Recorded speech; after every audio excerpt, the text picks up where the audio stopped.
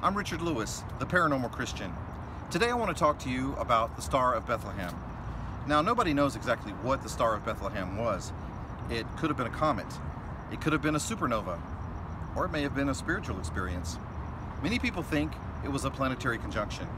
Well right now we're having an amazing planetary conjunction that's happening, the likes of which we haven't seen in some 800 years, where Jupiter and Saturn are coming together to form what is known as a great conjunction, which means that they'll be appearing as what looks like a double planet.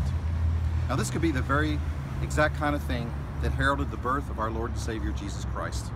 Now, even though we don't know for sure what the Star of Bethlehem was, it is amazing that this is happening right now at Christmas time.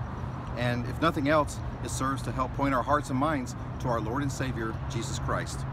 The Bible says that the lights in the sky will be given for signs and wonders. And doesn't it make you wonder at the magic of this Christmas time?